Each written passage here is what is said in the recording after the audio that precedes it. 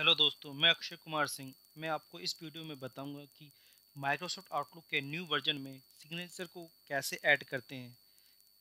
चलिए video start करते हैं। आपको माइक्रोसॉफ्ट आउटलुक का न्यू वर्जन को ओपन कर लेना है।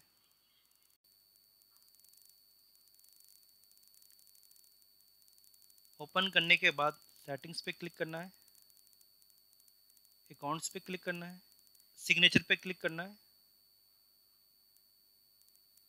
यहाँ पर आपको सिग्नेचर का नेम टाइप कर देंगे।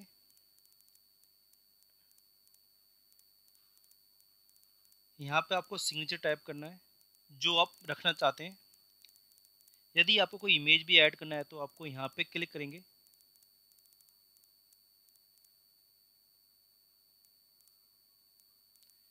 जहाँ भी आपकी इमेज सेव है, वहाँ पे जाना है आपको।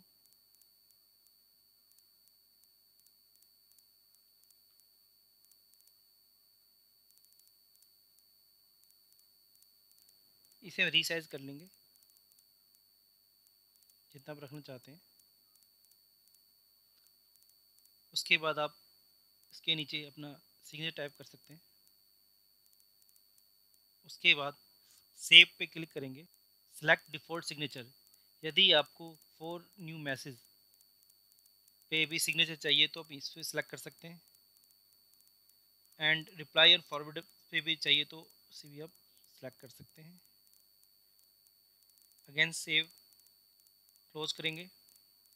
जो सिग्नेचर आपने वहाँ पे ऐड किया है, उसे देखने के लिए आपको न्यू मेल पे क्लिक करना होगा। यहाँ पे आप देख सकते हैं कि आपका सिग्नेचर यहाँ पे शो हो रहा है। Thank you